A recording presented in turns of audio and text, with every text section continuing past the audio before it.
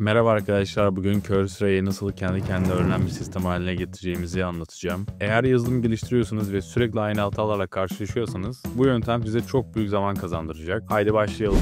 Videoya başlamadan önce kanalıma abone olmayı ve like atmayı unutmayın. Gruplar ve kitap linkleri açıklamada var. Şimdi devam edelim. Cursor AI ile kendi kendine öğrenen bir sistemi inşa edebiliriz. Peki nasıl? Kod yazarken karşılaştığımız hataları analiz edip çözüm üreterek ve daha önce çözülmüş hataları hatırlayarak bu sistem geliştiricilere zaman kazandırırken tekrar eden hataları en hızlı şekilde düzeltilmesine de olanak tanır. Yani bir hata bir kez çözüldüğünde tekrar yaşandı hemen çözüm sunulacak. Ben Cursor AI'nin hafızasını etkin bir şekilde yönetmesini sağlayan özel bir yöntem geliştirdim. Bu yöntem hataları ve çözümleri Knowledge Base MD adlı bir dosyada saklamayı içeriyor. Haydi şimdi kurulumunu yapalım. Cursor AI'nin her işlemden önce Cursor Rules dosyasını okuma özelliğini kullanarak ona hataları nasıl saklaması gerektiğini öğretebiliriz. Biliyorsunuz her istekten önce Cursor Rules dosyası okunuyor. Şimdi birinci adım Knowledge Base MD dosyasını oluşturuyoruz. Buraya gelip sol üstten New File'a basıyorum.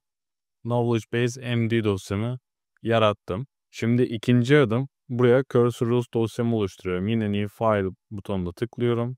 Buraya Cursor Rules dosyamı yazıyorum ve oluşturdum şu an. Şimdi üçüncü adım olarak Cursor Rules dosyamıza hata yönetim kuruluna ekliyoruz. Bu arada buradaki bütün promptlar ve detaylı anlatımları e-kitabında mevcut aşağıdaki linkten ona da ulaşabilirsiniz. Şimdi ben bu Cursor Rules'uma ekledim. Burada ne dedim? Kullanıcının geçmiş hatalarını ve çözümlerini saklamak için knowledge base.md dosyasını kullan. Bir hata tespit edildiğinde önce knowledge base md dosyasına bak. Eğer hata için bir kayıt varsa doğrudan önerilen çözümü kullan. Eğer hata yeni bir hata ise çözüme ulaştığında bunu knowledge base md dosyasına kaydet. Bunu birazdan deneyeceğiz kayıt formatı şu şekilde olmalı deyip aşağıda belirtmişim. Burada hatanın mesajı, çözümünün açıklaması, bir de yeniden bilgilendirme geçtim. Kullanıcı aynı hatayı tekrar sorarsa önce bu dosyayı kontrol et ve eğer çözüm varsa doğrudan yanıt ver. Eğer dosyada kayıtlı değilse en iyi çözümü üret ve yeni bir kayıt oluştur. Bunu şimdi deneyeceğiz. Bu kurallar sayesinde Cursor AI artık öğrenen bir sistem haline gelecek ve her seferinde aynı hataları analiz etmesine gerek kalmayacak. Şimdi e, test zamanı. Şimdi yaptığımız işlemleri test edeceğiz. Bakalım çalışıyor mu?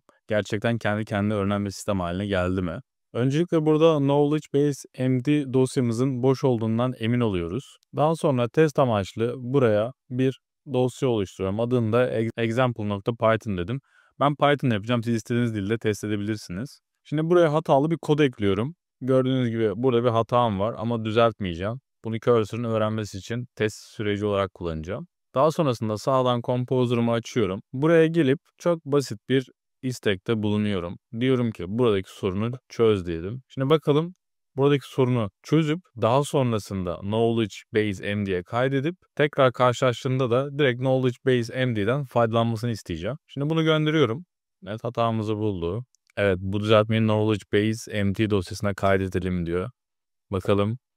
Evet hatanın adı, çözümü ve açıklaması da burada. Şu an çalışıyor. Şimdi ikinci test senaryomuza geçelim. İkinci test senaryosunda da öğrenilmiş hatayı test etme işlemi yapacağız. Şimdi buradaki example Python dosyamın içeriğini siliyorum. Composer'dan hatırlamaması için de yeni bir composer oluşturuyorum.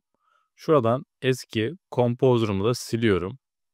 Şu an boş gördüğünüz gibi. Chat ekranım da boş, composer'ım da boş, geçmişim de boş. Şimdi şuraya yine hatalı işlemi yapalım. Parantezimizi unuttuk.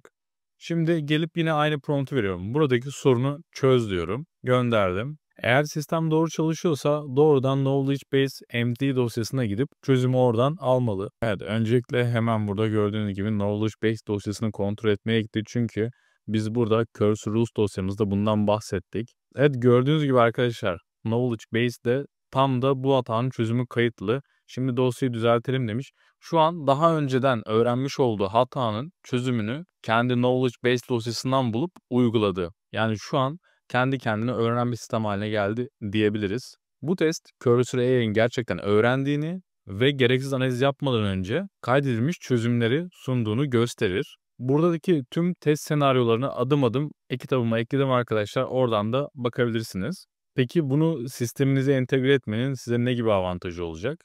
Tekrarlayan hataların çözümü hızlanacak. Sürekli aynı hatayı analiz etmekten kaçınılacak. Kod yazarken Cursor AI size daha iyi öneriler sunacak. Bu sistemle Cursor AI sadece kod üreten bir araç değil, aynı zamanda sürekli öğrenen bir asistan haline geliyor. Eğer bu yöntemi kullanarak deneyimlerinizi paylaşmak isterseniz yorumlarda belirtebilirsiniz. Her yorumu okumaya çalışıyorum arkadaşlar. Videoyu beğenmeyi ve like atmayı unutmayın. Bir sonraki videoda görüşmek üzere.